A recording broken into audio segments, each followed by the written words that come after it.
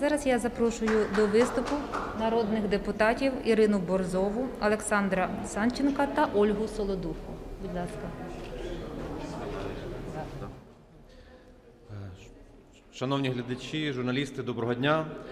У нас сьогодні радісна новина трьох е, народних депутатів. Перше за 20 років оновлюється молодіжне законодавство. Це законопроект номер 3718.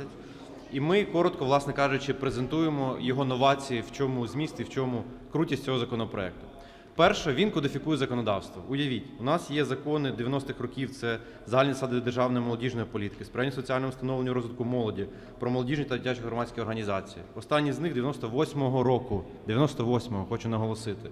Сьогодні 2020 рік. Що саме приносить сам закон про основні засади молодіжної політики 3718? Перше це участь молоді. Взагалі, молодіжна політика вона про політику участі, щоб навчити молоду людину з дитинства до дорослого життя брати на себе відповідальність, приймати участь в прийнятті рішень в шкільному самоврядуванні, студентському самоврядуванні, молодіжних громадських організаціях і бути активним громадянином, і пот- потім стати відповідальним громадянином. Тому перше це про участь.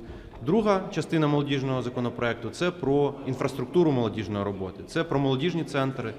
Ми цим законом закладаємо таку систему цілісну молодіжних центрів від всеукраїнського молодіжного центру до молодіжного центру, який працює на локальному рівні і кожен день комунікує з молодою людиною, допомагає їй набувати самостійності і спроможності.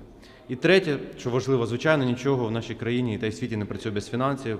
І третій блок це про фінанси, про створення українського молодіжного фонду, який дасть більше можливостей молодим людям на підтримку своїх проєктів. Передаю слово Ірині Бурзовій. Доброго дня, шановні виборці, Ірина Борзова, 14 округ Вінниччина. Ви знаєте, законів багато, але наша головна мета була створити для молоді реальні інструменти для її самореалізації, розвитку та участі у суспільному житті. І один із інструментів, на нашу думку, це якраз створення національного молодіжного фонду. Я особисто протягом 15 років займалася громадською діяльністю, організацією молодіжних проєктів і як ніхто знаю, що таке бути в кабінеті чиновника, що таке просити чиновника про підтримку, про фінансову підтримку на реалізацію, наприклад, молодіжного фестивалю.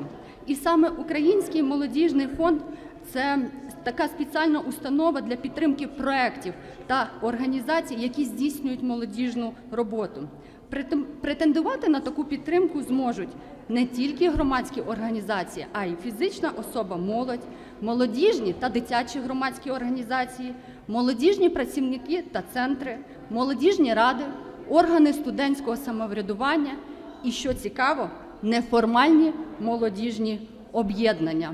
Я думаю, що це справді реальний інструмент отримати фінансову підтримку на конкурсній основі на різноманітні проекти у різних сферах життєдіяльності у культурі, у сфері інклюзії і, можливо, навіть і спорту.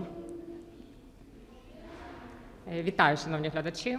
Хочу сказати, що молодіжна політика нерозривно пов'язана зі спортом, і держава ставить собі за ціль, е, щоб 40% громадян України займалися руховою активністю, фізичною культурою спортом. І ми маємо зробити все, щоб е, з раннього е, з раннього дитинства українці починали вести здоровий спосіб життя і е, могли себе реалізувати у молодому віці. І тільки так ми зможемо будувати і мати здорову націю. І цей закон сприятиме цьому за допомогою розвитку е, інфраструк- створення молодіж... інфраструктури молодіжних центрів і можливості впливати на ухвалення рішень влади та органів місцевого самоврядування. Дякую. Ми всіх запрошуємо приєднуватися, молодь запрошуємо, громадських запрошуємо приєднуватися до обговорення. Законопроект є на сайті Верховної Ради, з ним можна ознайомитися.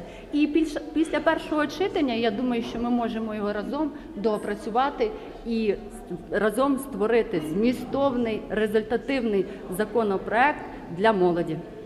Дякуємо. Прошу долучатися. Я вам дякую за інформацію.